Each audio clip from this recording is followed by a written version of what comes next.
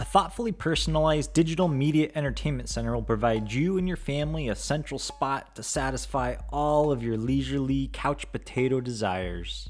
There are a bazillion different ways and versions of doing this, but we're to distill this down and show you the quickest, easiest, best way of setting up your own personal media center experience. After you follow along and get set up in this first basic video, we'll be able to move on to some more advanced stuff like setting up your own personal MP3s, videos, and games. Instead of waiting for the cable company to bring us entertainment, let's just entertain ourselves.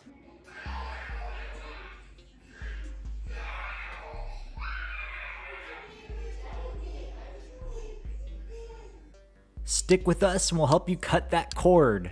Uh, we mean the coax cord, not the Ethernet cord. Don't uh, get ahead of yourself here.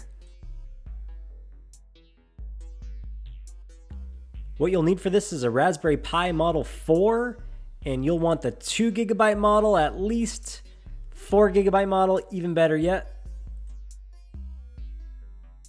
A blank micro SD card with at least 32 gigabytes of memory, and a computer with one of those SD card slots. A wired USB keyboard is great for setup, but not as comfortable on the couch, so you might want a wireless USB keyboard for that reason. Similar situation on game controllers. If you're planning on building out the most awesome entertainment system ever, you're gonna wanna add some retro games to it. And with that, you might as well go with the wireless game controllers to make it nice and comfy from the couch. To load the software onto the micro SD card, we're gonna use Raspberry Pi Imager. You can download it from the site if you haven't already open up that Raspberry Pi Imager software from Windows or Mac or whatever you're using. Once it's open, all you gotta do is click that Choose Operating System button. We're gonna scroll down to where it says Media Player OS. And we want this first option here, LibreELEC. Okay, what the heck?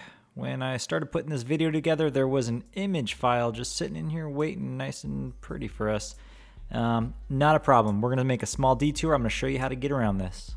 With any luck, by the time you watch this video, hopefully that image file is sitting back in there just waiting for you to click. Of course, you could always follow the same process to load any custom operating system image you wanted onto your micro SD card for your Raspberry Pi, the same way you would with the balenaEtcher type of product. From your browser, navigate to libreelec.tv, click on Downloads. They have their own imaging software shown on here, but don't get distracted. We're going to continue down here to the Raspberry logo. And from here, you can download the latest and greatest version of this image file right to your machine. Okay, grab this image file we saved to our machine. Put that into that custom image file spot on the imager for Raspberry Pi pop in that blank micro SD card and give it a go. Okay, once it's done, we can pull it out of the computer, take it out of the adapter, and then slide the micro SD card into the slot at the bottom of the Raspberry Pi. Connect the Ethernet cord to an open spot on your network. I mean, you can do this stuff over Wi-Fi too, but just to make it easy and quick and painless, let's plug in this Ethernet cord before powering up, I wanted to point out there's two HDMI ports on the Raspberry Pi product, and if you're brand new to this, you might be like, hey, do I just play eeny, meeny, miny, mo? You could do that, but to save you some trouble, the one on the left is going to be your default HDMI output main. Now all you got to do is plug in the USB keyboard and connect your Pi to power. When you first boot up, you'll likely be met with a welcome screen and some configurations to get your Pi onto your network and unless you know otherwise, the default settings should be okay. And we're in. This is the default Kodi skin you see here. You can navigate around with your keyboard. As Kodi's evolved over the years from the Xbox Media Center to what it is today, this skin and navigation style has stayed pretty consistent.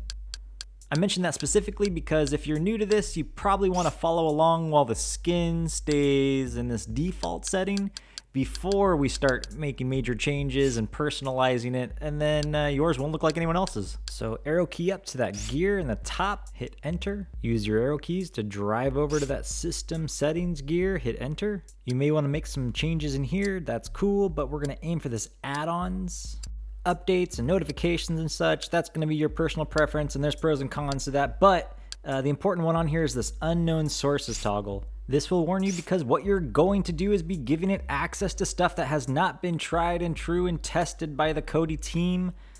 I mean, if you want the latest and greatest cool stuff, you're gonna have to allow it. By the way, if you navigate down to this gear in the bottom left, you can choose this and change the different filter options for these, depending on your comfort level. But even if you're basic, you still have the option to toggle on this unknown sources. To navigate backwards, you just hit the backspace on your keyboard if you haven't figured that out yet.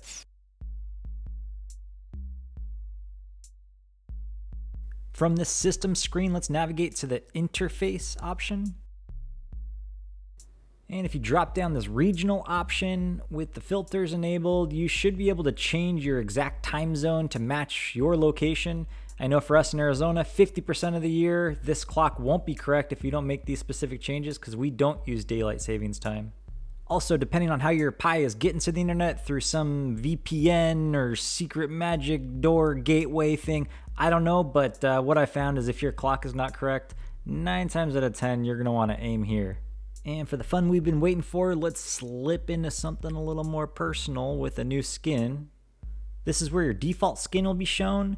You can always return back to this if you're trying to follow along someone else's tutorial and you're like, hey, mine doesn't look anything like that.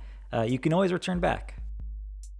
There are a bunch of options out there to get you started, but the best I found yet, after all the years of trial and error, is this Aeon Nox Silvo.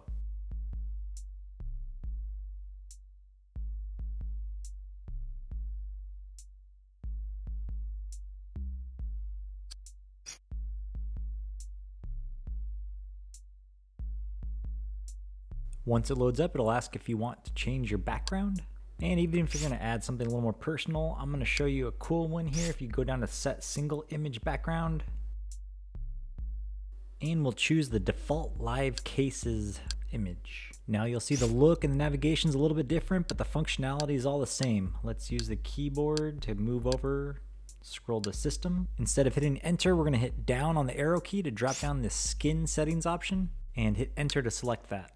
And from here, you'll be able to make a lot of great customization changes, personalizations, and changing the menu options. Beside hiding menu options that don't really pertain to you, you can also reorder them, rename them, and a bunch of other stuff to make it really personal for you. You can hit backspace to get out of here, and from this main menu, I have a couple personal preference items I like to change. Check it out. Like changing this to three items instead of five.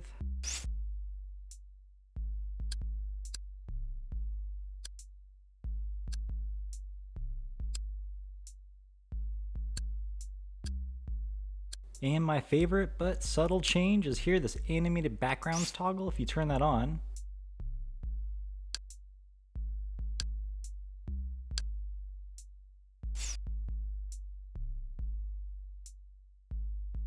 And check it out, it kind of gives the background some depth. I love this option. If you ever wanted to switch back to that first basic skin or make other major changes to the settings like you would have in that gear icon on that boring skin, you would navigate to settings and hit enter, We'll go up to interface. From here, you can select that default skin and return back to that boring default media center life, which is kind of a good spot for us to wrap up this first basic setup of your own personal digital media center using Kodi on a LibreELEC operating system on a Raspberry Pi 4. Thanks for joining us. If you haven't already, be sure to subscribe, and on future videos, I'll show you how to set up your retro games, video add ons, and streaming music.